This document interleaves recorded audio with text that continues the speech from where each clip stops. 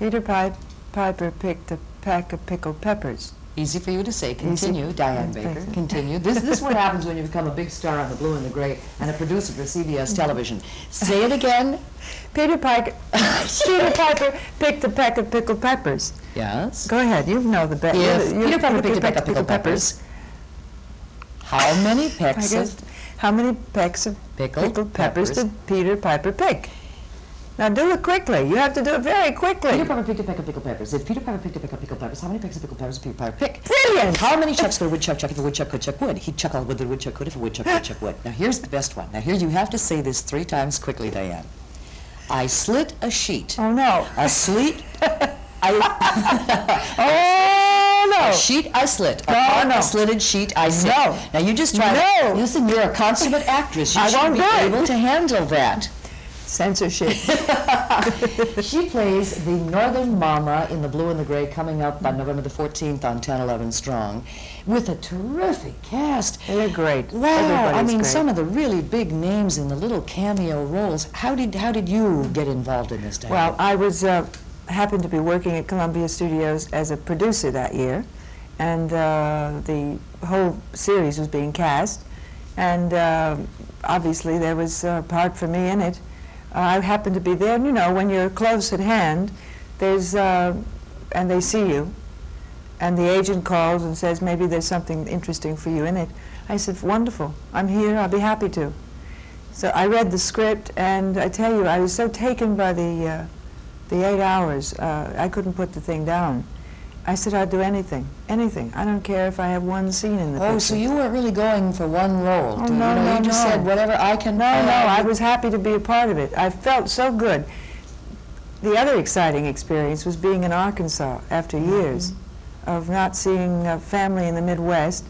I got a chance to go over the border to Missouri, where I have relatives, and it was t- two or three days of just delicious visits with family. I literally would love to live in Arkansas or Missouri just for maybe six months of the year. Well, some of your family used to live in Lincoln, Nebraska. Well, my grandfather remarried uh, many, many years ago. Of course, he's passed away now. But he remarried a lady who was from Lincoln, Nebraska, and so her family came from there, and he lived there for many years.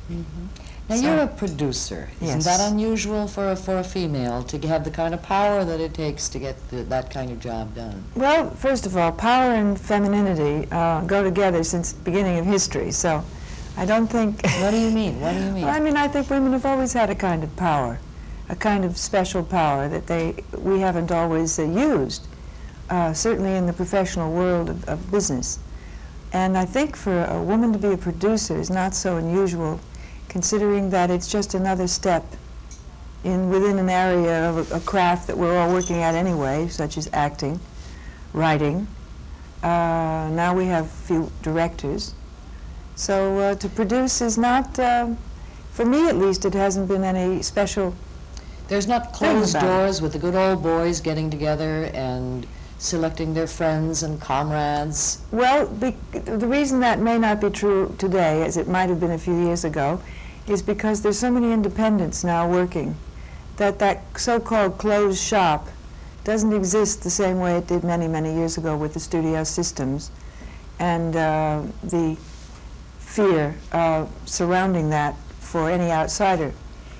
I uh, found that now you can go off and make a movie and if and it can enter the marketplace without you having to be a member of the establishment. Where do you get the funds? Well, um, in 1975, um, I, I get a lot of it from acting funds, uh, which I use in the productions. When I act in a role, I use that money. I also have uh, prevailed upon investors. In a movie I made in England in 81, um, it's called Never Never Land, and I had Petula Clark in it and Cathleen Nesbitt. That I had eight investors that came up uh, with money. I went to England with a little suitcase full of money.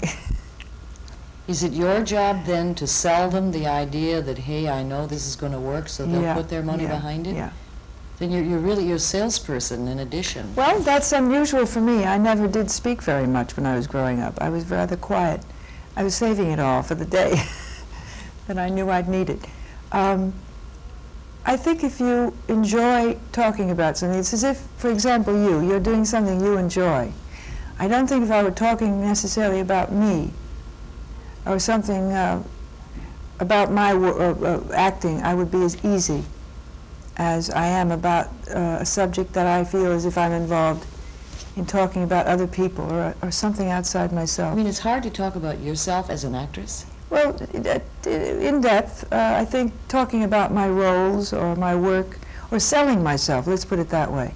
If I were having to sell myself to get a role, I wouldn't be. Oh, that's easy. people need agents. I think the agents do that work very well for actors and actresses. But for producing, it's the script I'm talking about. ah, that's outside. I'm talking about the project that's once removed from me. Well, how could you? You said you were shy as a child. Oh, I'm very. How on earth could you not only become an actress but a producer and get out there and say, "Hey, I got a product Yeah. here. I want to sell it," and growth, change, maturity, I suppose. Um, when I first opened my mouth and said a few words, it felt good when I had something to talk about. So you didn't decide I'm going to be an actress when I grow up. No, It evolved. it evolved, evolved. Yeah, and you're not sorry. no, No. no, it's all wonderful. It's wonderful. We're here in Washington, D.C. We've trips been paid for. We're picked up at the airport with limos. I mean, what, what, where else is it? Could it be so easy?